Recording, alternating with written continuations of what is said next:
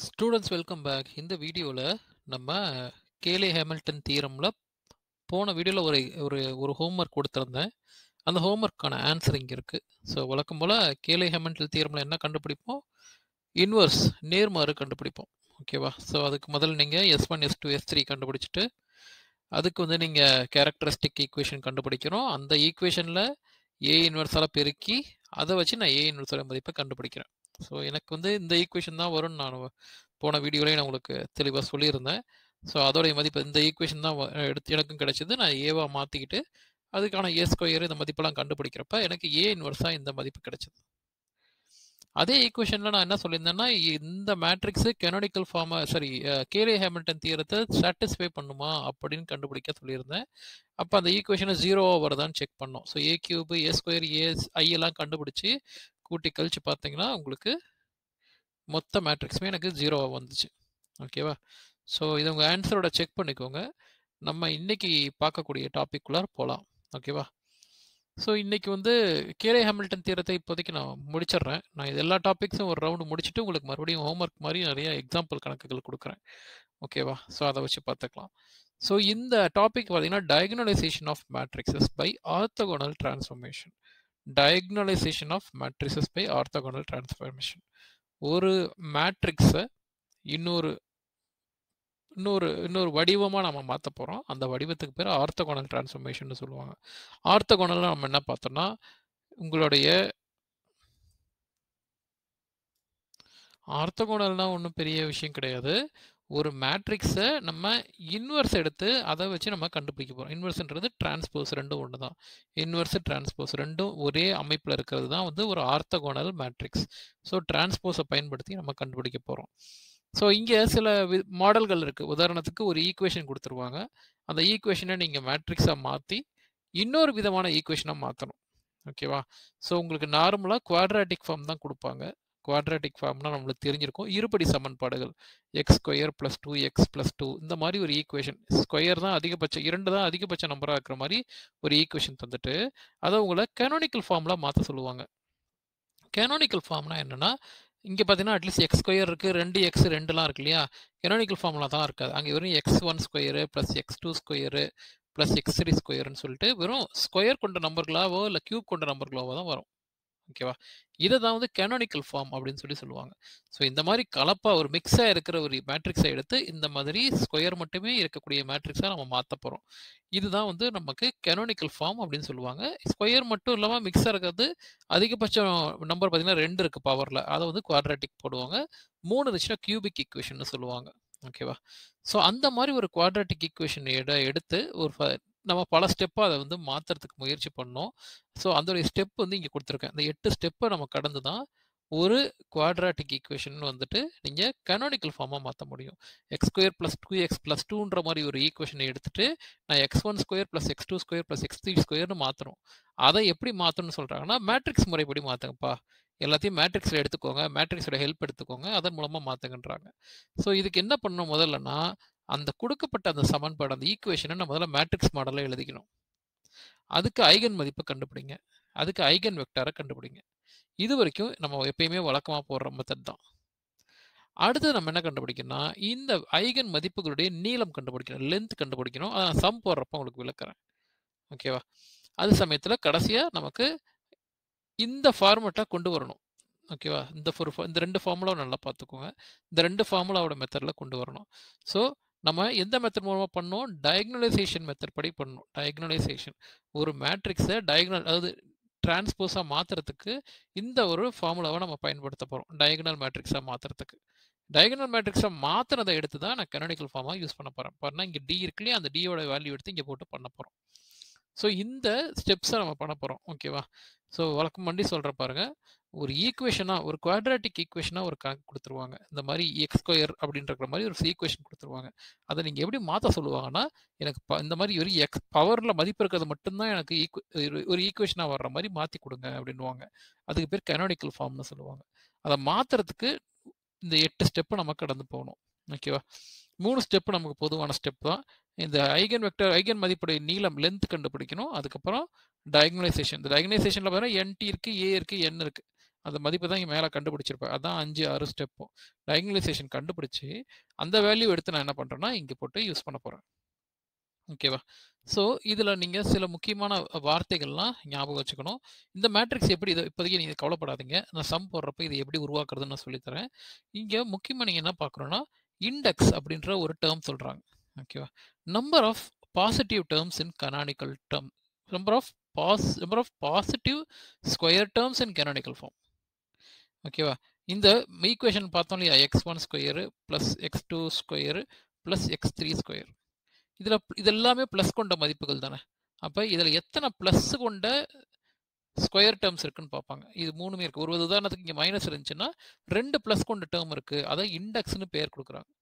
Count of positive terms வந்து index அடுத்து signature கேட்குறாங்க சிக்னேச்சர்ன்றது என்ன சொல்கிறாங்கன்னா உங்களுக்கு இங்கே ப்ளஸ் இருக்கிற நம்பருக்கும் எத்தனை நம்பர் இருக்குன்னு பாருங்கள் மைனஸ் எத்தனை நம்பர் இருக்குன்னு பாருங்கள் ரெண்டையும் கழிச்சிங்கன்னா உங்களுக்கு சிக்னேச்சர் அப்படின்ற ஒரு மதிப்பு கிடைக்கும். ப்ளஸ்ஸோடைய எண்ணிக்கையும் மைனஸோட எண்ணிக்கையும். ப்ளஸ்ஸோட கவுண்ட் மட்டும் எடுத்தீங்கன்னா அது இண்டெக்ஸு ப்ளஸ்ஸையும் மைனஸையும் எடுத்து அதை நீ கழிச்சிங்கன்னா அது சிக்னேச்சர்னு சொல்கிறாங்க ரேங்க் அப்படின்னு சொல்கிறாங்கன்னா நமக்கு வந்து ரெண்டு விதமாக அந்த ரேங்க்ன்ற ஒரு டேர்மை விளக்கலாம்.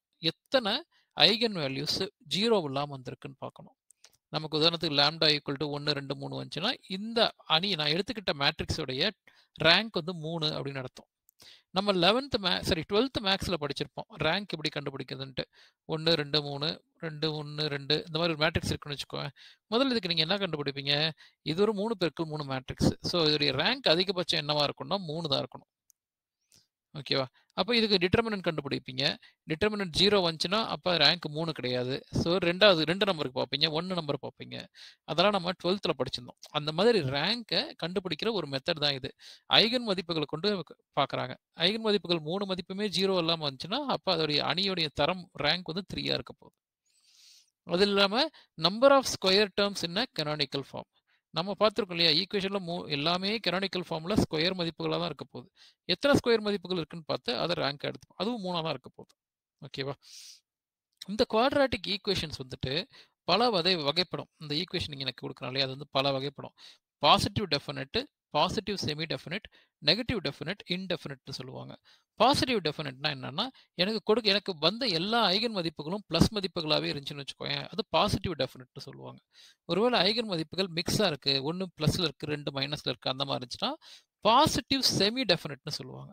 ஒருவேளை ஐகன் மதிப்புகள் எல்லாமே மதிப்பு நெகட்டிவ்ல இருந்துச்சுன்னா நெகட்டிவ் டெஃபினட்னு சொல்லுவாங்க. இந்த மூணுலேயும் சேராத இன்டெஃபினட் சொல்லுவாங்க. உதாரணம் zero comma zero comma zero எடுத்துக்கோ. இது இன்டெஃபினட்னு சொல்லுவாங்க. ஓகே? ஸோ இதெல்லாம் சில முக்கியமான வார்த்தைகள் இந்த சம்ஸ் நம்ம போடுறதுக்கு தேவைப்படும். ஓகே? ஏன்னா எப்படி கேட்பாங்கன்னா முதல் கணக்கு எப்படி கேட்பாங்கன்னா ஒரு குவாட்ராட்டிக் ஈக்குவேஷனை கொடுத்துட்டு நீ கனோடிக்கல் ஃபார்மாக மாற்றுங்க அப்படின்னுவோம் இது ஒன்று ரெண்டாவது வந்துட்டு மாற்றினதுக்கு அப்புறமா அதோட இண்டெக்ஸ் என்ன சிக்னேச்சர் என்ன ரேங்க் என்னன்னு கண்டுபிடிங்கன்னு சொல்லி கேட்பான். கடைசியாக இந்த குவாட்ராட்டிக் ஃபார்ம் என்ன அமைப்பில் இருக்கு கேட்பான். அது பாசிட்டிவ் டெஃபினட்டா பாசிட்டிவ் செமி டெஃபினட்டான்ட்டு எல்லாமே நம்ம ஒரு ஒரு எக்ஸாம்பிளாக போடுவோம். ஓகேவா? பயப்படுற அளவுக்கு அதில் ஒன்றும் கிடையாது. இப்போ இதை அப்படியே ஓரமாக வச்சுட்டு நம்ம சம்முக்குள்ளாரே இறங்கலாம். இதை முதல் சம்மு போட்டு பார்த்தோம்னா ஒரு ஐடியா நம்மளுக்கு கிடைக்கும். ஓகேவா? ஸோ இப்போ முதல் சமு பார்க்கலாம். ஒரு குவாட்ராட்டிக் ஃபார்ம் குவாட்ராட்டிக் ஃபார்ம்னா இருபடி சமன்பாடு. கரெக்டாக அதை நம்ம பார்த்தோம். ஸோ இருபடி சமன்பாடுன்னா மேலே பாரு. எக்ஸ் ஸ்கொயர் இருக்குது ஒய் ஸ்கொயர் இருக்குது இசட் ஸ்கொயர் இருக்குது அதிகபட்சமாக பவரில் ரெண்டு தான் இருக்குது அதை தான் குவாட்ராட்டிக் ஈக்குவேஷன் சொல்லுவான். அந்த மாதிரி ஒரு குவாட்ராட்டிக் ஃபார்மை கொடுத்து அதை கனோனிக்கல் ஃபார்மாக மாற்றுங்கன்றான் கனோனிக்கல் ஃபார்ம்னு என்ன சொன்னேன்? வெறும் எனக்கு பவரில் ரெண்டு மட்டும் தான் இருக்கணும். இதெல்லாம் இருக்கக்கூடாது. அந்த மாதிரி ஒரு அமைப்பில் மாற்றுங்கன்றாங்க ஸோ ஃபஸ்ட்டு இந்த ஈக்குவேஷன் எடுத்துக்கிட்டு நம்ம என்ன பண்ணணும்னா இதை வந்து ஒரு மேட்ரிக்ஸாக மாற்றணும் அதுதான் நம்மளுடைய முதல் ஸ்டெப்பு கரெக்டாக ஃபஸ்ட்டு ஒரு மேட்ரிக்ஸாக மாற்றுங்க ஐகன் வேல்யூ ஐகன் வெக்டர் கண்டுபிடிங்க. இந்த மூணையும் முதல்ல முடிச்சிருவோம். இதை முதல்ல ஒரு மேட்ரிக்ஸாக மாற்றுவோம் எப்படி மாற்றணும்னு நான் சொல்கிறேன் பாருங்கள் இதுதான் அந்த மாற்றுறதுக்கான ஒரு ஃபார்முலா இந்த ஃபார்முலாவை விளக்குறேன் பாருங்கள் A is equal to coefficient of X one square coefficient of X one square மூணு ஸ்கொயர் மதிப்புகள் இருக்கு. X square Y square Z ஸ்கொயர்ன்ட்டு இதை நீங்க எக்ஸ் ஒன்னு எடுத்துக்கணும். இதை எக்ஸ் டூ ஸ்கொயர்னு எடுத்துக்கணும். இதை நீங்க எக்ஸ் த்ரீ ஸ்கொயர்னு எடுத்துக்கணும். எக்ஸை எக்ஸ் ஒன்னு எடுக்க போறோம். ஒய்யை எக்ஸ் டூன்னு எடுக்க போறோம். இசட்டை எக்ஸ் த்ரீன்னு எடுக்க போறோம். அப்போ எனக்கு எக்ஸ் ஒன் ஸ்கொயருடைய கோஎஃபிஷியன்ட் கோஎஃபிஷியன்ட்னா எக்ஸ் ஒன் மதிப்புடைய ஸ்கொயர் மதிப்புடைய பக்கத்தில் என்ன நம்பர் இருக்குப்பான்னு கேட்குறாங்க இப்போ எக்ஸ் ஒன்றது எனக்கு என்ன? எக்ஸ் தான் எக்ஸ் ஒன் எடுக்க போகிறேன் அப்போ எக்ஸ் ஸ்கொயருக்கு பக்கத்தில் இருக்கிற நம்பர் என்ன? ஆறு. நான் முதல்ல இந்த இந்த நம்பர்லாம் முடிச்சிடுறேன். அடுத்தது பார்த்தீங்கன்னா coefficient of X two square. X two square பக்கத்தில் என்ன நம்பர் இருக்குது எக்ஸ் டூன்றது என்ன? ஒய். அப்போ ஒய் ஸ்கொயர் பக்கத்தில் என்ன நம்பர் இருக்குது மூணு. அதை எடுத்து இங்கே எழுதிடுவோம். நடுவில் எழுதுவோம். இது வந்து எக்ஸ் த்ரீ எக்ஸ் த்ரீன்றது என்ன? இசட் இசட் எக்ஸ் த்ரீ ஸ்கொயர்னு வேற இங்க இருக்கு. எக்ஸ் த்ரீ ஸ்கொயர்ன்றப்ப இசட் ஸ்கொயருடைய மதிப்பு பக்கத்தில் என்ன இருக்கு? மூணு இருக்கு. இப்போ அடுத்த மதிப்புகள் வருவோம். எக்ஸ் ஒன்னுன்றது என்ன? எக்ஸ் எக்ஸ் டூன்றது என்ன? ஒய் அப்போ எக்ஸ் ஒன் எக்ஸ் டூவோட மதிப்பு என்னன்னு பாருங்க. எக்ஸ் ஒன் எக்ஸ் டூ சேர்ந்த மாதிரி எங்க இருக்குன்னா அப்புறம் இங்கே தான் இருக்கு. இது எக்ஸ் எக்ஸ் ஒனை குறிக்கும். ஒய் வந்து எக்ஸ் டூவை குறிக்கும். அதுக்கு பக்கத்தில் இருக்கிற நம்பர் எடுத்துக்கோ மைனஸ் நாலு. அதை ரெண்டால் வகுத்துக்கோன்றாங்க. அப்போ மைனஸ் ரெண்டு. இப்போ பாருங்க x one x three x ஒன்றது எக்ஸை குறிக்குது. எக்ஸ் த்ரீன்றது இசட்டை குறிக்குது. இங்கே பாரு. இசட்டும் எக்ஸை சேர்ந்த மாதிரி இங்கே இருக்கு. இந்த நம்பர் நாலு அதில் பாதி எடுக்க போகிறேன் ரெண்டு. அடுத்து x two x one x ஒன்றது x X டூன்றது ஒய் அப்போ ஒய் எக்ஸ் அல்லது எக்ஸ் ஒய் எங்கே இருக்குன்னு பாருங்கள் மறுபடியும் இங்கே தான் இருக்குது சரியா? அப்போ இங்கே மைனஸ் நாலு ரெண்டால வகுத்தீங்கன்னா மைனஸ் ரெண்டு. இப்போ அடுத்து இங்கே வாங்க. X two x three x டூன்றது Y X த்ரீன்றது இசட்டு ஒய்யும் இசட்டும் சேர்ந்த மாதிரி இருக்கிறது இங்கே இருக்குது மைனஸ் ரெண்டு இருக்குது மைனஸ் ரெண்டு ரெண்டால் வகுத்தீங்கன்னா மைனஸ் ஒன்று கிடைக்கும். அடுத்தது இங்கே வாங்க. எக்ஸ் த்ரீன்றது இசட்டு எக்ஸ் ஒன்றது எக்ஸ் எக்ஸும் இசட்டும் சேர்ந்த மாதிரி இங்கே இருக்குது நாலு ரெண்டால வகுத்தீங்கன்னா ரெண்டு கிடைக்கும். அடுத்தது இங்கே வாங்க எக்ஸ் த்ரீ எக்ஸ் டூ இருக்குது x three x two x த்ரீன்றது Z X டூன்றது ஒய் அது மைனஸ் ரெண்டை வச்சிருக்கு. அப்போ ரெண்டால வகுக்கிறப்போ மைனஸ் ஒன்று கிடைக்கும். இதுதான் நமக்கான மேட்ரிக்ஸ் ஓகேவா இதுதான் நமக்கு கொஞ்சம் சிரமமான ஸ்டேஜ் இந்த மதிப்பு அழகாக கண்டுபிடிச்சுன்னா இனிமேல் நீங்கள் ஐகன் மதிப்புகள் ஈஸியாக கண்டுபிடிச்சிடலாம் இல்லையா? இது ஒரு த்ரீ இன்ட்டு த்ரீ மேட்ரிக்ஸ் அப்போ ஐகன் ஈக்குவேஷன் கேரக்டரிஸ்டிக் ஈக்குவேஷன் எப்படி வரும்னா lambda cube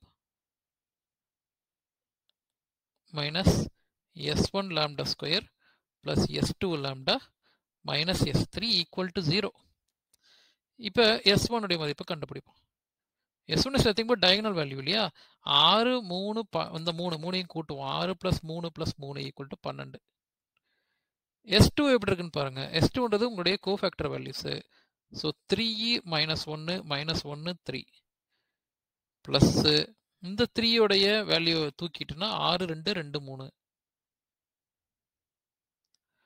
ப்ளஸ்ஸு இந்த த்ரீக்கு பார்த்தீங்கன்னா ஆறு மைனஸ் ரெண்டு மைனஸ் ரெண்டு மூணு. கரெக்டா ஸோ இதோடைய வேல்யூ கண்டுபிடிங்க. நைனு மைனஸ் ஒன்று ப்ளஸ் பதினெட்டு மைனஸ் நாலு ப்ளஸ் பதினெட்டு மைனஸ் நாலு. ஒம்பதில் ஒன்று போச்சுன்னா எட்டு பதினெட்டில் நாலு போச்சுன்னா பதினாலு பதினெட்டில் நாலு போச்சுன்னா பதினாலு. சரியா? எல்லாமே கரெக்டாக இருக்கா? ஸோ இருபத்தெட்டு இருபத்தெட்டு எட்டு முப்பத்தாறு எஸ் டூவோட வேல்யூ முப்பத்தி ஆறு.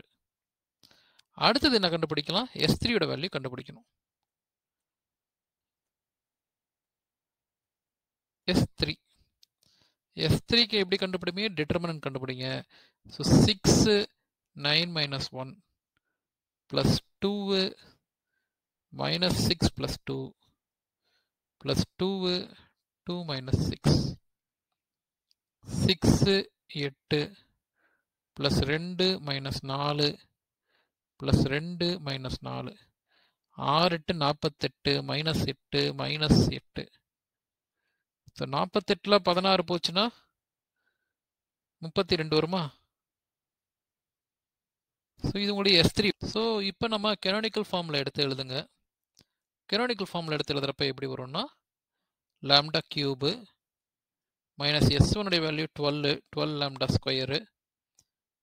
முப்பத்தாறு வந்து எஸ் டூ ஸோ ப்ளஸ் முப்பத்தாறு லேம்டா மைனஸ் முப்பத்தி ரெண்டு ஈக்குவல் டு ஜீரோ இப்போ நம்ம ஐகன் வேல்யூஸ் கண்டுபிடிக்கணும். ஐகன் வேல்யூஸ் கண்டுபிடிக்கணும்னா அந்த லேம்டாக்கு ஒரு ஒரு வேல்யூவாக ட்ரை பண்ணி பார்க்கணும்.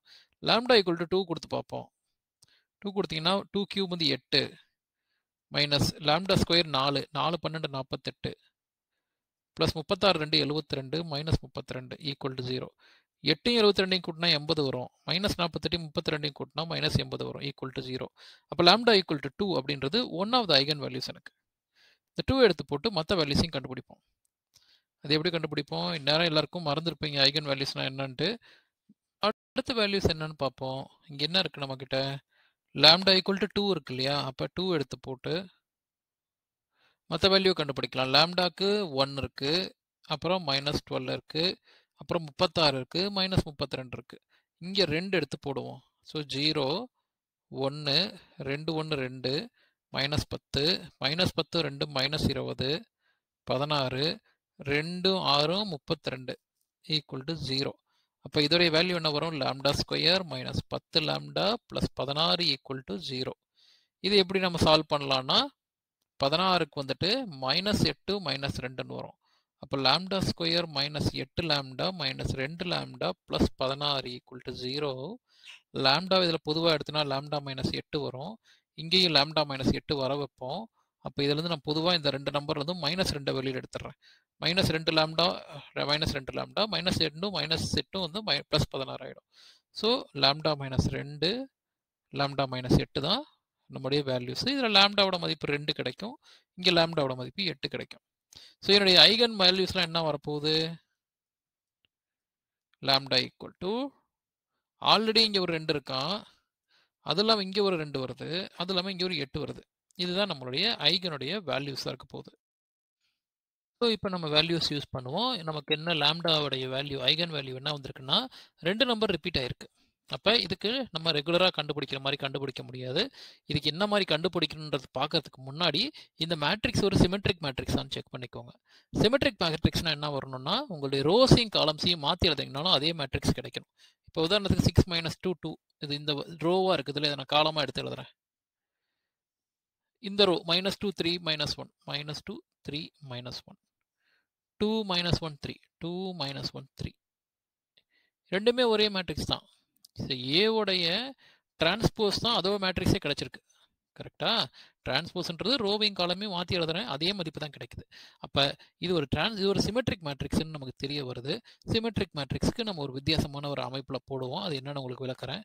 முதல்ல நம்ம வந்து வித்தியாசமாக இருக்க ஐகன் மதிப்பை கண்டுபிடிச்சிருவோம். இங்கே லேம்டா ஈக்குவல் டு முதல்ல எட்டுக்கு கண்டுபிடிப்போம். லேம்டா ஈக்குவல் முதல்ல ஃபார்முலா என்ன நமக்கு ஐகனுடைய ஃபார்முலா என்ன வரப்போகுது? அதை போட்டுட்டு முதல்ல ஐகன் ஈக்குவேஷன்ஸை கண்டுபிடிச்சிக்கலாம். ஸோ நம்மளோட ஈக்குவேஷன் என்ன வரும்? A minus lambda I into x equal to zero வரும். ஏவோட வேல்யூ என்ன? மேட்ரிக்ஸ் ஏவோட வேல்யூ வந்து ஆறு மைனஸ் ரெண்டு ரெண்டு. மைனஸ் ரெண்டு மூணு மைனஸ் ஒன்று ரெண்டு மைனஸ் ஒன்று மூணு. மைனஸ் லேம்டா பெருக்கல் ஐ வந்து ஐடென்டிட்டி மேட்ரிக்ஸ் ஒன்று ஜீரோ ஜீரோ ஜீரோ ஒன்று ஜீரோ ஜீரோ ஜீரோ ஒன்று இதை கண்டுபிடிச்சிட்டு உங்களுக்கு மொத்த மதிப்போட எக்ஸோட மதிப்பை பெருக்கணும். X one x two x three இதெல்லாம் அது புது தான் எந்த மேட்ரிக்கு தான் எந்த சிமெட்ரிக்கா நான் சிமெட்ரிக்காலாம் கணக்கு இல்லை. எல்லாத்துக்கும் அது புதுவாக தான் இருக்க போகுது. இங்கே ஈக்குவல் டு ஜீரோ இருக்குது ஸோ இதை நீங்கள் கழிக்க ஆரம்பிங்க. இது என்னவா எழுதலாம்னா ஆறு மைனஸ் ரெண்டு ரெண்டு. மைனஸ் ரெண்டு மூணு மைனஸ் ஒன்று ரெண்டு மைனஸ் ஒன்று மூணு. Minus lambda zero zero zero lambda zero zero zero lambda bracket போட்டு வெளியில் x one x two x three equal to zero போட்டுக்கலாம். இப்போ உள்ள கழிங்க. அப்போ என்ன வரும்? ஆறு மைனஸ் லேம்டா மைனஸ் ரெண்டு ரெண்டு மைனஸ் ரெண்டு மூணு மைனஸ் லேம்டா மைனஸ் ஒன்று ரெண்டு மைனஸ் ஒன்று மூணு மைனஸ் லேம்டா பெருக்கல் x one x two x three equal to zero இப்போ இதை உள்ள பெருக்கினீங்கன்னா என்ன வரும்? ஆறு minus lambda x one minus ரெண்டு எக்ஸ் டூ ப்ளஸ் ரெண்டு எக்ஸ் த்ரீன்னு ஒரு ஈக்குவல் டு ஜீரோன்னு ஒரு ஈக்குவேஷன் வரும்.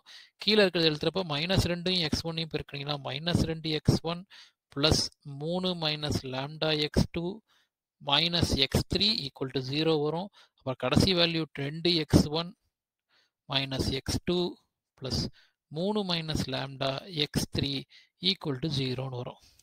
இப்போ இதை வேல்யூ எடுத்து நம்ம முதல்ல லேம்டா ஈக்குவல் டு எயிட்டுக்கான ஐகன் வெக்டர்களை கண்டுபிடிக்கலாம். ஓகேவா இந்த ஈக்குவேஷனை நம்ம அப்படியே அடுத்த ஸ்க்ரீனில் எழுதிக்கலாம்.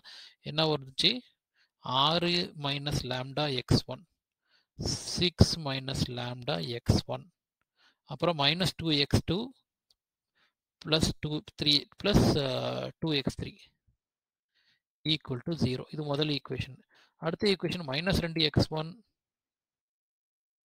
அப்புறமேட்டு வந்துட்டு ப்ளஸ் மூணு மைனஸ் லேம்டா ப்ளஸ் மூணு மைனஸ் லேம்டா எக்ஸ் டூ அப்புறமா வந்து minus x three equal to zero மூணாவது ஈக்குவேஷன் ரெண்டு x one minus x two அப்புறமா வந்து ப்ளஸ் மூணு minus lambda x three equal to zero இதில் லேம்டா ஈக்குவல் டு முதல்ல எட்டு கொடுத்து பார்ப்போம். எட்டு கொடுத்தா என்ன வரும்? ஆறில் எட்டு எட்டில் ஆறு போச்சுன்னா ரெண்டு. ஓகேவா இப்படி அது எழுதிக்கலாம். சிக்ஸ் மைனஸ் எட்டு எக்ஸ் ஒன் மைனஸ் ரெண்டு எக்ஸ் டூ ப்ளஸ் ரெண்டு x three equal to zero கீழே வந்து மைனஸ் ரெண்டு எக்ஸ் ஒன் ப்ளஸ் மூணு மைனஸ் எட்டு x two minus x three equal to zero ரெண்டு x one minus x two plus மூணு மைனஸ் எட்டு x three equal to zero கழிக்கிறப்ப எட்டில் ஆறு போச்சுன்னா ரெண்டு பெரிய நம்பரில் மைனஸ் இருக்குது ஸோ மைனஸ் ரெண்டு எக்ஸ் ஒன் மைனஸ் ரெண்டு எக்ஸ் டூ ப்ளஸ் ரெண்டு x three equal to zero இங்கே பார்த்தீங்கன்னா மைனஸ் ரெண்டு எக்ஸ் ஒன் எட்டில் மூணு பார்த்தீங்கன்னா அஞ்சு பெரிய நம்பரில் மைனஸ் இருக்குது மைனஸ் அஞ்சு x two minus x three equal to zero இங்கே பார்த்தீங்கன்னா ரெண்டு x one minus x two minus அஞ்சு x three equal to zero ஏன்னா எட்டில் மூணு போயிட்டுனா அஞ்சு பெரிய நம்பர் மைனஸில் இருக்குது ஸோ இதான் ரெண்டு ஈக்குவேஷன் எடுத்துக்குவோம். அப்போ எக்ஸ் ஒனுடைய மதிப்பு என்ன வரும்? இந்த ரெண்டு வேல்யூ வரணும். மைனஸ் ரெண்டு மைனஸ் அஞ்சு. மைனஸ் ரெண்டு மைனஸ் அஞ்சு. இங்கே வந்து பார்த்தீங்கன்னா ரெண்டு மைனஸ் ஒன்று இருக்கும். ஓகேவா இது ஒரு மேட்ரிக்ஸு அடுத்தது ஸோ அடுத்த மேட்ரிக்ஸ் பார்த்தீங்கன்னா ஈக்குவல் டு எக்ஸ் டூக்கு எப்படி வரும்னு பாருங்கள் எக்ஸ் டூக்கு வர்றப்ப ரெண்டு மைனஸ் ஒன்று ஸோ ரெண்டு மைனஸ் ஒன்று இந்த பக்கம் மைனஸ் ரெண்டு மைனஸ் ரெண்டு. ஈக்குவல் டு எக்ஸ் த்ரீக்கு எப்படி இருக்குன்னு பாருங்கள் எக்ஸ் த்ரீ வர்றப்ப மைனஸ் ரெண்டு மைனஸ் ரெண்டு மைனஸ் ரெண்டு மைனஸ் அஞ்சு. இது ஆல்ரெடி நம்ம பார்த்துருக்கோம். எக்ஸ் ஒன்னு வந்துச்சுன்னா எக்ஸ் டூ எக்ஸ் த்ரீயோட நம்பர் எடுத்து போடு. எக்ஸ் டூ வந்துச்சுன்னா எக்ஸ் த்ரீ எக்ஸ் ஒன் போடு. எக்ஸ் த்ரீ வந்துச்சுன்னா எக்ஸ் ஒன் எக்ஸ் டூ போடு. இதுக்கு தீர்வு கண்டுபிடிங்க. எக்ஸ் ஒன் இங்கே மை மைனஸ் ஒன்று மைனஸ் ரெண்டு மைனஸ் ஒன்று சேர்ந்தா ப்ளஸ் ரெண்டு ஆகிடும் மைனஸ் அஞ்சு ரெண்டு சேர்த்துனா மைனஸ் டென்னு உள்ள ஒரு மைனஸ் இருக்கும். ஸோ ப்ளஸ் டென்னு ஈக்குவல் டு எக்ஸ் டூ இங்கே என்ன வருது? மைனஸ் நாலு. இங்கே மைனஸ் ஒன்று மைனஸ் ஒன்று தான் ப்ள ப்ளஸ் ரெண்டு ஆகிடும் இங்கே உள்ள ஒரு மைனஸ் இருக்கலாம் மைனஸ் ரெண்டு. ஈக்குவல் டு எக்ஸ் த்ரீ என்ன வரப்போகுது? ஸோ இப்போ இங்கே எக்ஸ் த்ரீக்கு பார்த்தீங்கன்னா மைனஸ் ரெண்டு மைனஸ் அஞ்சு. ப்ளஸ் ப்ளஸ் பத்துன்னு ஆகிடும் ஸோ ப்ளஸ் பத்து மைனஸ் மைனஸ் ரெண்டு மைனஸ் ரெண்டு தான் நாலு ஆகிடும் ஸோ வேல்யூ என்ன வரும்? எக்ஸ் ஒன் பை பன்னெண்டு equal to x two by minus ஆறு. Equal to x three by ஆறுன்னு வந்துடும் அப்போ உங்களுடைய மொத்த எக்ஸ் ஒன் ஐகன் வெக்டருடைய மதிப்பு என்ன வரும்? பன்னெண்டு மைனஸ் ஆறு ஆறுன்னு வந்துடும் மொத்த ஈக்குவேஷன்லேருந்து ஆறு வெளில எடுத்துடலாம். அப்போ ரெண்டு மைனஸ் ஒன்று ஒன்றுன்னு வரும். ஆறு ரெண்டு பன்னெண்டு ஆறு ஒன்று ஆறு மைனஸ் ஒன்று மைனஸ் ஆறு ஆறு ஒன்று ஆறு அப்போ என்னுடைய ஐகன் வெக்டருடைய எப்படி இருக்குன்னா ரெண்டு மைனஸ் ஒன்று ஒன்று இது வந்து எதோடைய மதிப்பு? எக்ஸ் ஒனுடைய ஐகன் வெக்டருடைய மதிப்பு எனக்கு. இப்போ எனக்கு மீதி லேம்டாக்கு ரெண்டு வேல்யூ இருக்குது லேம்டா ஈக்குவல் டு ரெண்டு லேம்டா ஈக்குவல் டு ரெண்டுன்ட்டு. ஓகேவா ரெண்டுக்கும் நான் ஒரு இதே மாதிரி கண்டுபிடிக்க முடியாது. அதுக்கு நான் வேற ஒரு அப்ரோச் எடுக்கணும். ஓகேவா அந்த அப்ரோச் படி போகலாம் ஸோ முதல் ஒரு நம்பருக்கு நான் இதையே அப்படியே ஃபாலோ பண்ணிக்கலாம். ரெண்டாவது நம்பர் பார்க்குறப்ப மட்டும்தான் நான் லைட்டாக அதை மாற்றி போடுற மாதிரி இருக்கும். ஸோ அது ரெண்டுமே நான் உங்களுக்கு இப்போ எக்ஸ்பிளைன் பண்ணுறேன் இது ஏற்கனவே நம்ம பார்த்த மாடல் தான். பட் இருந்தாலும் இன்னொரு தடவை நம்ம பார்த்துக்கலாம். ஸோ இப்போ நம்ம என்ன பண்ணலாம்? லேம்டா ஈக்குவல் டு ரெண்டு போடுவோம். இந்த ஈக்குவேஷனில் லேம்டா ஈக்குவல் டு ரெண்டு போட்டால் என்ன வரும்னு பாருங்கள் அதுக்கு முன்னாடி இங்கே ஒரு லைனை போடுவோம்.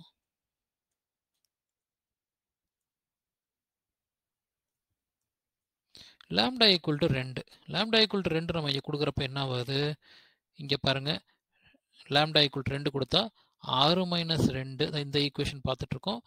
எக்ஸ் ஒன் மைனஸ் ரெண்டு எக்ஸ் டூ ப்ளஸ் ரெண்டு x three equal to zero அடுத்தது மைனஸ் ரெண்டு எக்ஸ் ஒன் ப்ளஸ் மூணு மைனஸ் ரெண்டு ஏன்னா லேம்டாக்கு ரெண்டு மதிப்பு கொடுக்கணும். X two minus x three equal to zero two x one minus x two plus three minus ரெண்டு x three equal to zero equation என்ன வரும்னா ஆறில் ரெண்டு போச்சுன்னா நாலு எக்ஸ் ஒன் மைனஸ் ரெண்டு எக்ஸ் டூ ப்ளஸ் ரெண்டு x three equal to zero அடுத்தது மைனஸ் ரெண்டு x one plus x two minus x three equal to zero அதுக்கப்புறம் ரெண்டு x one minus x two plus x three equal to zero ரெண்டு ஒரு ரெண்டு ரெண்டு இருக்குது. ஒரு ரெண்டு நான் இப்படியே பயன்படுத்து ஸோ இதுக்கு நீங்கள் கண்டுபிடிக்கலாம். கண்டுபிடிக்கிறப்ப என்ன வரும்னா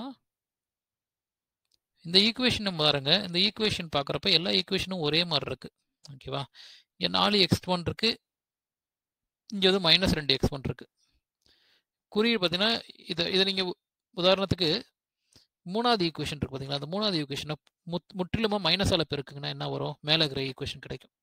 சரி ஓகே இந்த ஈக்குவேஷனை மூணுமே ஒரே மாதிரி இருக்கு அப்படின்றது என்னுடைய கருத்து. ஏன்னா இங்கே ரெண்டு மைனஸில் இருக்கு இங்கே ப்ளஸ் இங்கே மைனஸில் இருக்கு ப்ளஸில் இருக்கு. இங்கே ப்ளஸில் இருக்கு மைனஸில் இருக்கு மைனஸில் இருக்கு ப்ளஸில் இருக்கு. இது ரெண்டும் ஒரே மாதிரி இருக்கு. இங்கே பார்த்தீங்கன்னா இந்த கடைசி ஈக்குவேஷனே ரெண்டால பேருக்குன்னா எப்படி இருக்கும்? அந்த மாதிரி இருக்குது. மூணு ஈக்குவேஷனும் ஒரே மாதிரி இருக்கிறதுனால நம்ம வேற விதமாக நம்ம ஐகன் மதிப்பை கண்டுபிடிக்கணும். இல்லை உனக்கு அப்படி புரிஞ்சுக்கிறது கஷ்டமாக இருந்தால் கூட நீ வந்து வழக்கம் போலவே கண்டுபிடிங்க கண்டுபிடிச்சா என்ன வரும்னு பாரு. எல்லா எல்லா வெக்டர் மதிப்பும் ஜீரோ ஆகிடும் பாருங்க மைனஸ் ரெண்டு ஒன்று ரெண்டு மைனஸ் ஒன்று ஈக்குவல் டு எக்ஸ் டூவோட மதிப்பு என்ன வருது? ரெண்டு மைனஸ் ஒன்று நாலு மைனஸ் ரெண்டு. ஈக்குவல் டு எக்ஸ் த்ரீயோட வேல்யூ என்ன வந்து? நாலு மைனஸ் ரெண்டு மைனஸ் ரெண்டு ஒன்று அப்போ எக்ஸ் ஒன் பை மைனஸ் ரெண்டு மைனஸ் ரெண்டு equal to x two minus நாலு ப்ளஸ் நாலு ஈக்குவல் டு எக்ஸ் த்ரீ நாலு மைனஸ் நாலு. ஏன்னா எல்லாமே பார்த்தீங்கன்னா ஜீரோ ஆயிடுச்சு. ஏன்னா மூணு ஈக்குவேஷன் ஒரே மாதிரி இருக்கு. ஒரே மாதிரி ஈக்குவேஷன் எடுத்து போட்டால் ஜீரோ தான் வரும். அதனால இந்த மெத்தடை நம்ம பண்ணக்கூடாது. நம்ம என்ன பண்ணோம் ஏதோ ஒரு ஈக்குவேஷன் எடுத்துக்கோங்க. நாலு எக்ஸ் ஒன் மைனஸ் ரெண்டு எக்ஸ் டூ ப்ளஸ் ரெண்டு x three equal to zero x ஒன்னோட மதிப்பை ஜீரோ கொடுத்தோன்னா என்ன வரும்? மைனஸ் ரெண்டு எக்ஸ் டூ ஈக்குவல் டு இந்த மைனஸ் ரெண்டு ப்ளஸ் ரெண்டு எக்ஸ் த்ரீ அந்த பக்கம் போச்சுன்னா மைனஸ் ரெண்டு எக்ஸ் த்ரீன்னு வந்துடும் மைனஸ் மைனஸ் அடிபட்டுரும். ஸோ எக்ஸ் டூ பை ரெண்டு equal to x three by ரெண்டுன்னு வரும். அப்போ இதோடைய வேல்யூ ரெண்டு ரெண்டு அடிச்சிட்டோம்னா ஒன்று ஒன்று போட்டுக்கலாம் அந்த இடத்துல. அப்போ என்னுடைய எக்ஸ் டூவோட வெக்டர் மதிப்பு என்ன வரும்னா ஜீரோ ஒன்று ஒன்று வரும். ஏன்னா எக்ஸ் டூக்கு ஒன்று எக்ஸ் த்ரீக்கு ஒன்று எக்ஸ் ஒன்று ஜீரோன்னு கொடுத்துட்டேன். அப்போ இதுதான் என்னுடைய ரெண்டாவது ஐகன் வெக்டராக இருக்க போகுது.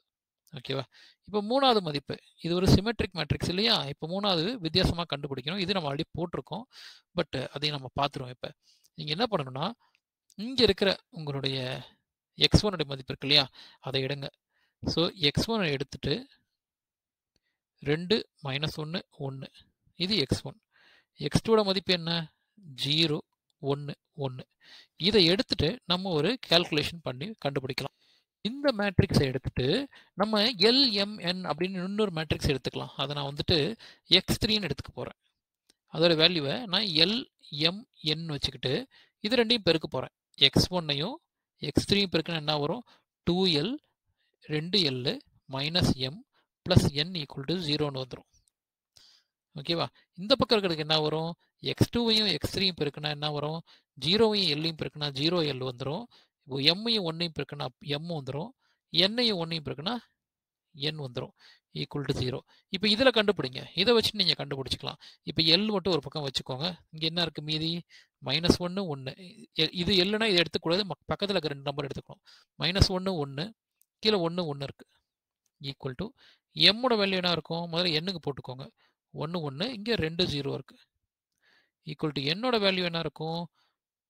ரெண்டு ஜீரோ மைனஸ் ஒன்று ஒன்று இதுக்கு நீங்கள் மறுபடியும் வேல்யூ கண்டுபிடிங்க. எல்லு மைனஸ் ஒன்று மைனஸ் ஒன்று equal to m zero minus ரெண்டு ஈக்குவல் டு என்னு ரெண்டு. இப்போ எல் இப்போ இந்த எக்ஸ் இதை எக்ஸ் த்ரீயாக எடுத்துட்டேன்னா இதோட வேல்யூ என்ன வரும்னா மைனஸ் ரெண்டு இங்கே இருக்குது இங்கே மைனஸ் ரெண்டு இருக்குது இங்கே ரெண்டு இருக்குது பொதுவாக எல்லாத்துலேயுமே நான் வந்து மைனஸ் ரெண்டு வெளியே எடுத்துட்டேன்னு வச்சுக்கோங்க அப்போ என்ன வரும்? ஒன்று ஒன்று மைனஸ் ஒன்று வருமா? ஏன்னா ரெண்டு மைனஸ் ரெண்டு ஒன்று மைனஸ் ரெண்டு மைனஸ் ரெண்டு ஒன்று மைனஸ் ரெண்டு மைனஸ் ரெண்டையும் மைனஸ் ஒன்றையும் சேர்த்துனா ப்ளஸ் ரெண்டு வந்துடும் இது வந்து மைனஸ் ஒன்று ஸோ மூணு மூணு மதிப்புகள் கிடச்சிருச்சு. எக்ஸ் ஒன் மேட்ரிக்ஸுடைய வெக்டர் என்ன வேல்யூ இருந்துச்சு? டூ மைனஸ் ஒன் ஒன் வந்துச்சு. எக்ஸ் டூக்கு என்ன வந்திருக்கு? ஜீரோ ஒன் ஒன் வந்திருக்கு. எக்ஸ் த்ரீக்கு என்ன வந்திருக்கு? ஒன்று ஒன்று மைனஸ் ஒன் வந்திருக்கு. இதை வச்சுக்கிட்டு நம்ம அடுத்த கட்டத்தில் நகரப்போகிறோம் இப்போ நம்ம இங்கே பழைய ஸ்டெப்ஸுக்கு போகலாம் இது வரைக்கும் நம்ம கண்டுபிடிச்சிட்டோம். மூணு ஸ்டெப்பு தான் கண்டுபிடிச்சிருக்கோம் இது வரைக்கும். அடுத்தது லென்த் கண்டுபிடிப்போம். இந்த ஃபார்முலா கண்டுபிடிப்போம் இந்த ஃபார்முலா கண்டுபிடிப்போம். லென்த் எப்படி கண்டுபிடிக்கலான்றதை அடுத்து பார்க்கலாம். ஓகேவா அந்த லென்த்தை வச்சு தான் நம்ம இந்த என் வேல்யூ கண்டுபிடிப்போம். நார்மலைஸ்டு மேட்ரிக்ஸ் கண்டுபிடிப்போம். முதல்ல லென்த் கண்டுபிடிச்சிக்கலாம். லென்த் எப்படி கண்டுபிடிக்கணும்னா இங்கே போடுறேன். லென்த் எப்படி கண்டுபிடிக்கணும்னா நம்மளுடைய வேல்யூ என்ன? முதல்ல எக்ஸ் ஒனுடைய வேல்யூ என்ன இருந்துச்சு? ரெண்டு ஒன்று ஒன்று இருந்துச்சா? அதுதானே எக்ஸ் ஒன்னோட வேல்யூ ரெண்டு மைனஸ் ஒன் ஒன்று லென்த் கண்டுபிடிக்கணும்னு என்ன பண்ணோம்? அப்படியே ரூட் எடுத்து ரெண்டு ஸ்கொயரு ப்ளஸ் மைனஸ் ஒன்று ஸ்கொயரு ப்ளஸ் ஒன்று ஸ்கொயர் ஒரு ஒரு மதிப்புக்கும் இருபடி எடுத்து ரூட் எடுக்கிறோம். ஸ்கொயர் பண்ணி ரூட் எடுக்கிறோம். ஸோ இப்போ இதோட வேல்யூ என்ன வருது? ரெண்டு ஸ்கொயர் வந்து நாலு ப்ளஸ் மைனஸ் ஒன்று ஸ்கொயர் வந்து ஒன்று ப்ளஸ் ஒன்று இதோடைய மதிப்பு ரூட் ஆறு. அடுத்தது பாருங்கள் ஜீரோ ஒன்று ஒன்று எக்ஸ் டூக்கு இதை வச்சு என்ன வரும்? Root zero square plus one square plus one square equal to zero plus ஒன்று ப்ளஸ் ஒன்று ஈக்குவல் டு ரூட் ரெண்டு அடுத்து எக்ஸ் த்ரீ கண்டுபிடிங்க. ஒன்று ஒன்று மைனஸ் ஒன்று equal to root one square plus one square plus minus minus one square equal to root ஒன்று plus ஒன்று ப்ளஸ் ஒன்று ஈக்குவல் டு ரூட் மூணு இப்போ இந்த ஒரு ஒரு மதிப்பையும் கண்டுபிடிச்சோம் இல்லையா? அந்த மதிப்பை கொண்டு இங்கே டிவைட் பண்ணிக்கலாம். டிவைட் பண்ணி என்ன பண்ணணும்னா இதனுடைய காலமாக ரோவாக எழுதணும். ஸோ முதல்ல எழுதிக்கலாம். இப்போ எனக்கு கிடைக்க போகிற மேட்ரிக்ஸ் பேர் வந்து நார்மலைஸ்டு மேட்ரிக்ஸ்னு சொல்லுவாங்க. அது என்னென்னு கொஞ்ச நேரத்தில் விளக்குறேன். இதனுடைய காலமாக இருக்குது வேல்யூஸ்லாம் அதெல்லாம் வரிசையில் எடுத்து எழுது வேல்யூ அப்படியே எழுதுக்கலாம். ரெண்டு மைனஸ் ஒன்று ஒன்று ஜீரோ ஒன்று ஒன்று ஒன்று ஒன்று மைனஸ் ஒன்று இது அதோடைய நம்பர் ரெண்டு மைனஸ் ஒன் ஒன்றுக்கு தானே லென்த் இது கிடச்சிது? அப்படியே வகுத்துருங்க அந்த லென்த்தை ரூட் ஆறு ரூட் ஆறு ரூட் ஆறு.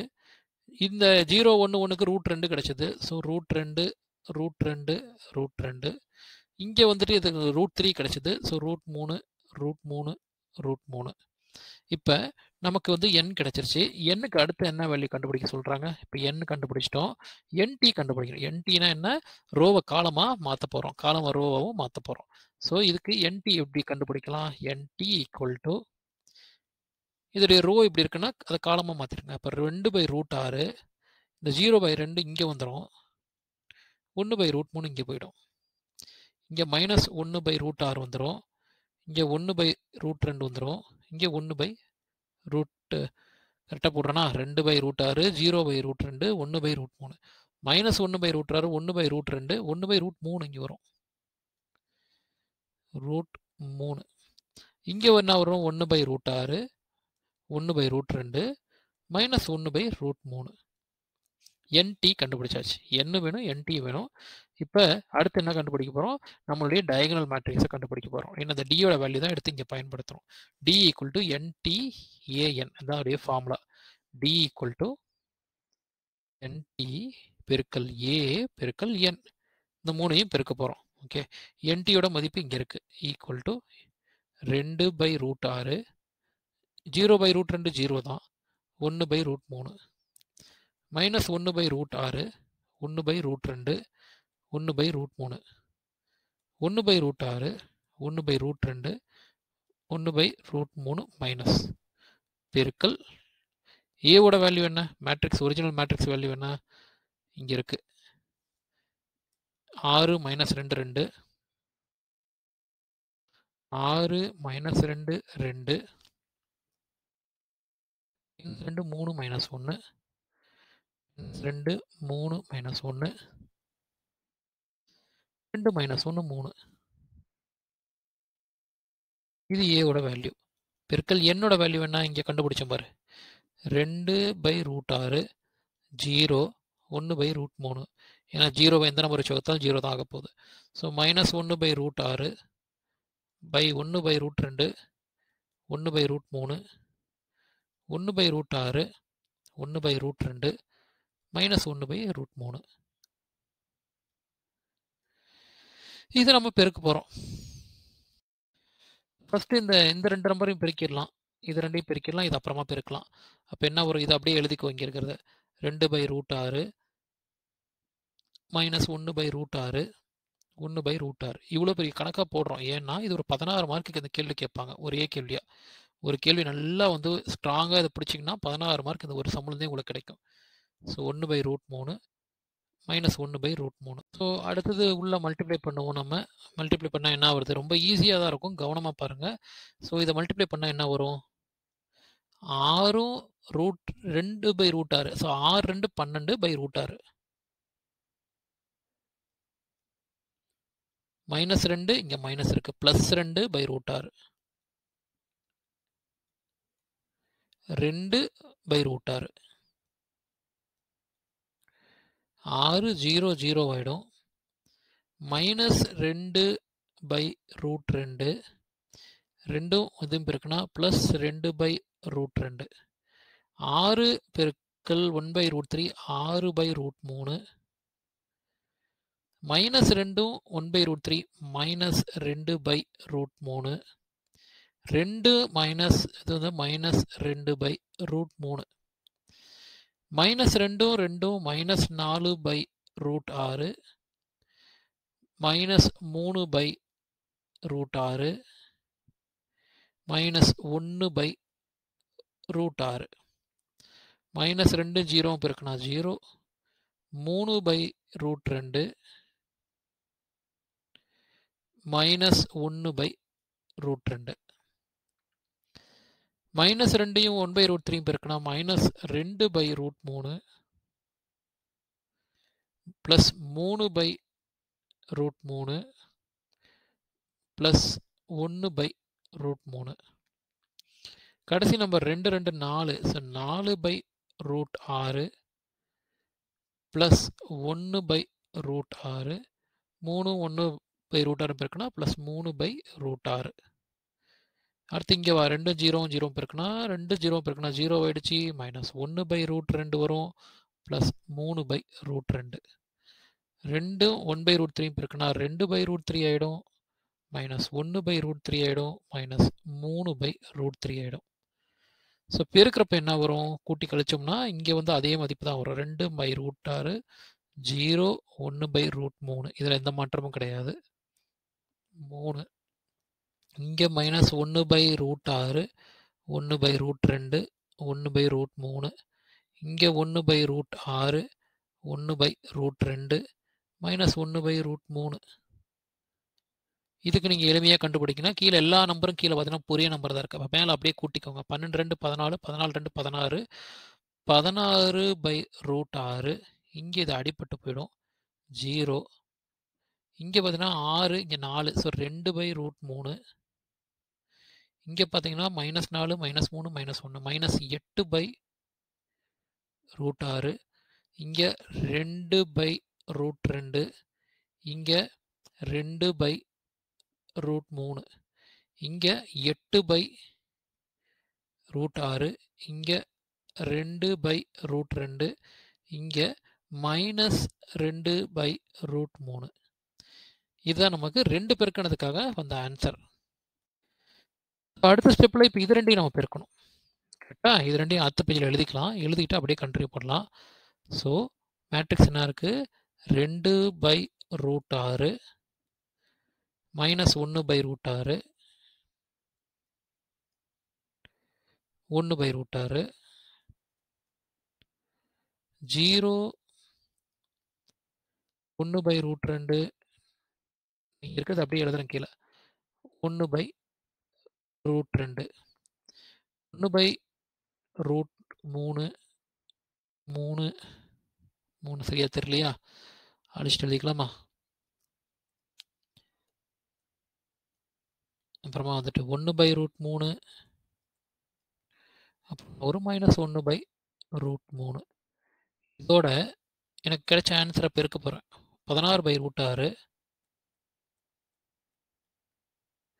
மைனஸ் எட்டு பை ரூட் ஆறு. எட்டு பை ரூட் ஆறு. ஜீரோ ரெண்டு பை ரூட் ரெண்டு. ரெண்டு பை ரூட் ரெண்டு. ரெண்டு பை ரூட் மூணு. ரெண்டு பை ரூட் மூணு.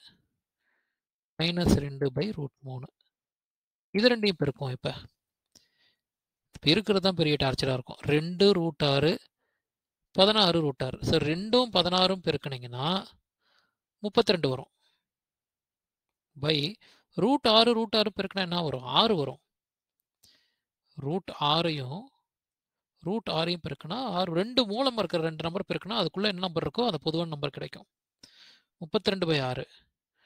ஓகேவா அடுத்தது இந்த மைனஸ் ஒன் பை ஆறு இருக்குது ஸோ மேலே இருக்கிற நம்பர் பாரு. மைனஸ் ஒன்று மைனஸ் எட்டு. ஸோ ப்ளஸ் எட்டு ஆகிடும் கீழே ரூட் ஆறு ரூட் ஆறு இருக்குது அது ஆறாயிடும் ப்ளஸ் ஒன்று மேலக்கு இங்கே எட்டு இருக்குது ஸோ ஒன்று ரெண்டு ஒன்று எட்டு எட்டு. ரூட் ஆறு ரூட் ஆறு ஆறு ஆயிடுச்சு. அடுத்து இந்த பக்கம் வரும். ரெண்டு இந்த பக்கம் ஜீரோ ஆயிடுச்சு. அப்போ மொத்த நம்பர் ஜீரோ ஆகிடும் அடுத்தது பார்த்தீங்கன்னா மைனஸ் மேலே மைனஸ் ஒன்று இருக்குது இங்கே ரெண்டு இருக்குது அப்போ மைனஸ் ரெண்டு பை ரூட் ஆறு ரூட் ரெண்டு ரூட் பன்னெண்டு ஆகிடும் ஏன்னா ரூட் ஆறும் ரூட் ரெண்டும் வேறு வேறு நம்பர்லேயே அப்போ பெருக்கிறப்ப அப்படியே ரூட் பன்னெண்டை போட்டுரும். அடுத்து இங்கே போ ஒன் பை ஆறு இருக்குது மேலே ஒன்று இருக்குது இங்கே ரெண்டு இருக்குது ஸோ ப்ளஸ் ரெண்டு வகுத்தல் ரூட் ஆறு ரூட் ரெண்டு ரூட் பன்னெண்டு. இது அடிப்பட்டு போயிடும். ஒரே நம்பர்ல மறுபடியும் இங்கே வா. நாலு பை ரூட் பதினெட்டு மைனஸ் ரெண்டு பை ரூட் பதினெட்டு. இங்கே பாரு. ஒன்று மைனஸ் ரெண்டு. ஸோ மைனஸ் ரெண்டு பை ரூட் பதினெட்டு. இவனும் ஜீரோ நாலு இங்கே மை மைனஸ் நாலு இருக்குது எல்லாமே அடிப்பட்டு போயிடும். இவனும் ஜீரோ ஆகிடுச்சு பெரும்பாலும் எல்லா நம்பரும் ஜீரோ வரும். உங்களுக்கு டயகனல் மட்டும்தான் நம்பர் வரும். அதுதான் இதில் ட்ரிக் வந்துட்டு. ஜீரோவோட இந்த நம்பர் பெருக்குனா ஜீரோ ஆகிடுச்சு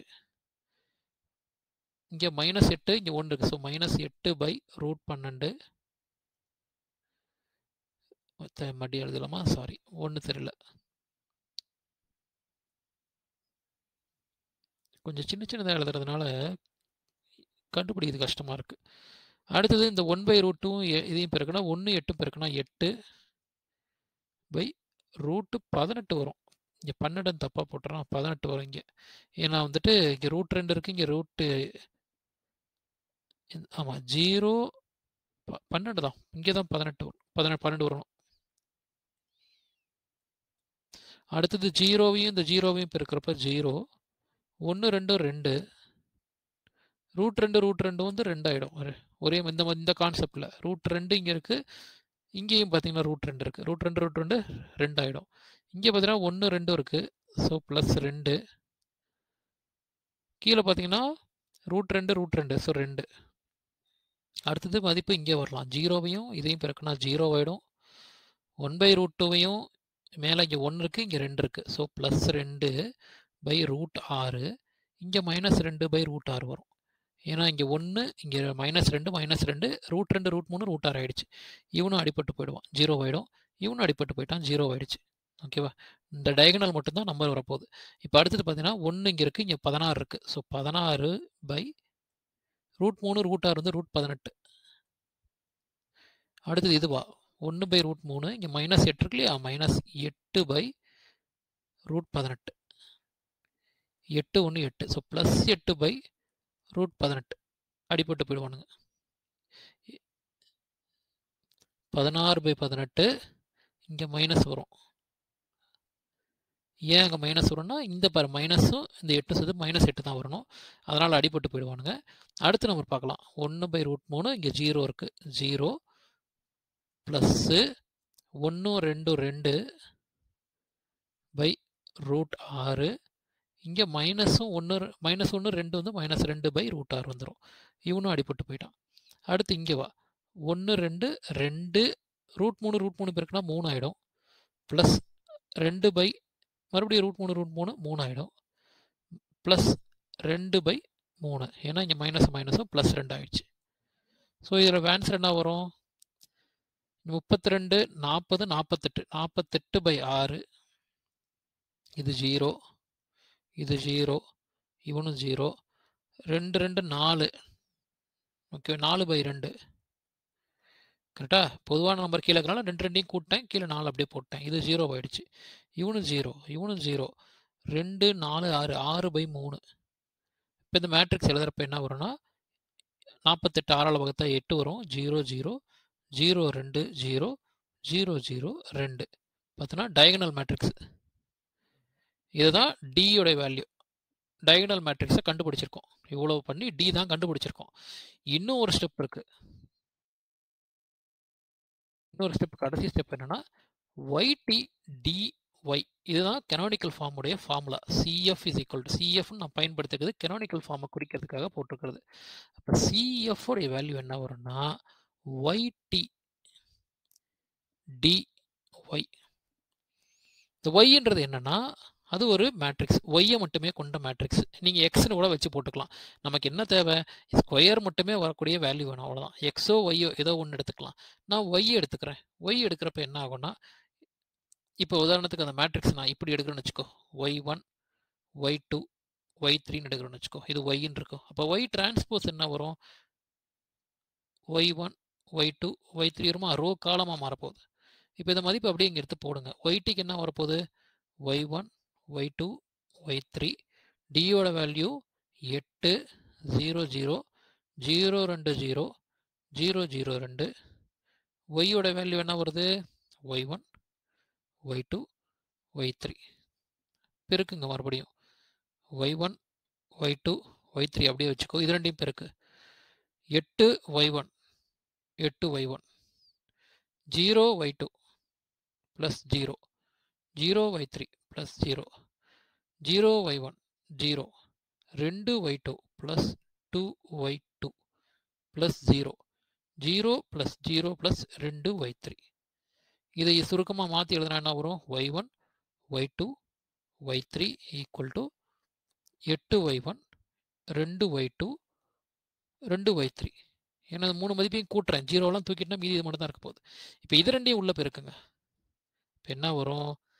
எட்டு ஒய் ஒன் ஒய் ஒன் சேர்றப்ப எட்டு ஒய் ஒன் ஸ்கொயர் கிடைக்கும்.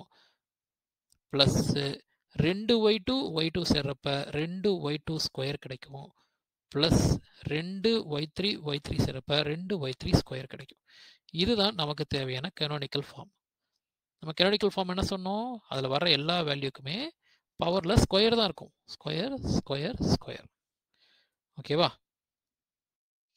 கொஞ்சம் பெரிய சம் தான். ஆனால் கண்டிப்பாக இது ஒரு ஃபைவ் மார்க் கேள்வியாக உங்களுக்கு செமஸ்டரில் கேட்பாங்க. ஒரு குவாட்ராட்டிக் ஒரு இருபடி சமன்பாடு ஒன்று கொடுக்குறாங்க. மேட்ரிக்ஸை பயன்படுத்தி ஆர்த்தோகோனலை வந்து மாற்றி அதுக்கு நீ கனோனிக்கல் ஃபார்ம் கண்டுபிடிக்கணும். அதான் கேள்வி அதுதான் reduce a quadratic form quadratics இருபடி சமன்பாடை கனோனிக்கல் ஃபார்மாக மாற்றி எப்படி மாற்றோம்னா ஆர்த்தகோனல் டிரான்ஸ்ஃபர்மேஷன் ஆர்த்தகோனல்னால் உங்களுக்கு டயகனலில் மதிப்பு கொண்டு கொண்டு வரணும். அது ஒரு பாட்டு. உங்களுடைய அணி அதனுடைய டிரான்ஸ்போஸ் ரெண்டும் ஒரே மதிப்பாக இருக்கணும். அதுதான் ரெண்டு தான் ஆர்த்தோகோனலுடைய கண்டிஷன் ஃபஸ்ட்டு எல்லாத்தையுமே எடுத்து இந்த ஈக்குவேஷன் இந்த தான் ரொம்ப முக்கியமான ஸ்டெப்பு எல்லாம் மேட்ரிக்ஸாக கன்வெர்ட் பண்ணுறதுக்கு இங்கே நான் சொல்லி கொடுத்த மெத்தட் ஃபாலோ பண்ணுங்கள் அப்புறம் அதுக்கான ஐகன் வேல்யூ ஐகன் வெக்டர்களை கண்டுபிடிங்க. எனக்கு வந்து என்ன ஆயிடுச்சுன்னா ஐகன் வேல்யூ ஐகன் வெக்டருடைய வேல்யூ வந்து ரெண்டு ரெண்டு எட்டுன்னு வந்துச்சு. ஒரே மாதிரி ரெண்டு நம்பர் வந்துச்சு. ஸோ வித்தியாசமாக இருக்க நம்பருக்கு முதல்ல கண்டுபிடிச்சிட்டேன். அப்புறமா ஒரு நம்பர் ஜீரோவை வச்சு நான் வந்து ரெண்டாவது வேல்யூ கண்டுபிடிச்சேன். அப்புறம் அந்த ரெண்டு வெக்டாரையும் பயன்படுத்தி மூணாவது வேல்யூ கண்டுபிடிச்சேன். ஐகன் வேல்யூ அதுக்கப்புறம் அதுக்கான ஐகன் நீளம் கண்டுபிடிச்சேன். ஐகன் லென்த் கண்டுபிடிச்சேன். லென்த்தை கண்டுபிடிச்சி அந்தந்த மதிப்புகளாலேயே டிவைட் பண்ணேன். அதை மூணையுமே சேர்த்து ஒரு மேட்ரிக்ஸ் அமௌண்ட் போட்டு டிவைட் பண்ணுறோம் அதுக்கு டிரான்ஸ்போஸ் கண்டுபிடிக்கிறோம். இது நார்மலைஸ்டு மேட்ரிக்ஸ் ஸோ என்ன இருக்குது குவாட்ராட்டிக் ஃபார்மில் வந்துட்டு நார்மலைஸ்டு ஃபார்ம் போயிட்டு நார்மலைஸ் ஃபார்ம்லேருந்து டயகனல் ஃபார்ம் போயிட்டு கனோனிக்கல் ஃபார்முக்கு போகுது. இது ஞாபகம் வச்சுக்கோங்க. ஸோ நார்மல் ஃபார்ம் இங்கே கண்டுபிடிச்சோம். டயகனல் ஃபார்ம் கண்டுபிடிக்கிறதுக்கான ஃபார்முலா வந்து D is to NTAN NT கண்டுபிடிச்சோம். ஏவோட பிறக்கணும் என்னோட பிறக்கணும். நமக்கு இங்கே மதிப்புகள் கிடைச்சிது. இதுதான் டயகனலாக மதிப்பு கிடைச்சிது. இதை எடுத்து நம்ம கனானிக்கல் ஃபார்முலா போட்டிருக்கிறோம். நமக்கு இந்த வேல்யூ கிடைச்சிருக்கு. ஓகேவா கடைசியாக கிடைக்கப்பட்ட ஈக்குவேஷன் வந்துட்டு ஸ்கொயர் ஸ்கொயர் ஸ்கொயர்னு கிடைச்சிருக்கு. இங்கே டயகனலில் பார்த்தீங்கன்னா எல்லாரும் உங்களுடைய டயகனல் வேல்யூ மட்டும்தான் வேல்யூ இருக்குது மற்றதெல்லாம் ஜீரோவாக இருக்குது இதுக்கு இன்னொரு பேர் ட்ரையாங்குலர் மேட்ரிக்ஸ்னு நம்ம பார்த்துருந்தோம். ஓகேவா இந்த கேள்வி நல்லா பாருங்கள் இது ரொம்ப பெரிய கேள்வி. பொறுமையாக போடுங்க. மனசு விடாமல் போடுங்க. எனக்கு கண்டிப்பாக ஒரு பதினாறு மார்க் கேள்வியாக இருப்பது இது ஒரு பதினாறு ஐகன் வெக்டர்ஸ் ஒரு எட்டு மார்க்கு அதுலேயே ஒரு கேரக்டரிஸ்டிக்ஸில் ஒரு டூ மார்க்கு பதினாறு பதினாறு வட்டி எட்டு இருபத்தி நாலு இருபத்தாறு மார்க் வந்து இங்கே இது வரைக்கும் நம்ம பார்த்த வீடியோலேருந்தே உங்களுக்கு கிடைக்க வாய்ப்புகள் இருக்குது ஸோ நல்லா ப்ரிப்பேர் பண்ணிக்கோங்க. மீண்டும் நம்ம நாளைக்கு இன்னொரு இதே குவாட்ரேட்டிக் ஃபார்மில் இன்னொரு சம்மில் மீட் பண்ணலாம். இந்த சம் உங்களுக்கு பிரயோஜனமாக இருந்துச்சுன்னா எனக்கு லைக் பண்ணுங்கள் ஷேர் பண்ணுங்கள் சப்ஸ்கிரைப் பண்ணுங்கள் மறக்காமல் இதெல்லாம் பண்ணலனாலும் பரவாயில்ல அந்த சம்மெல்லாம் போட்டு பாருங்கள் மீண்டும் நாளைக்கு இன்னொரு கணக்கில் மீட் பண்ணலாம். அதுவரை டேக் கேர்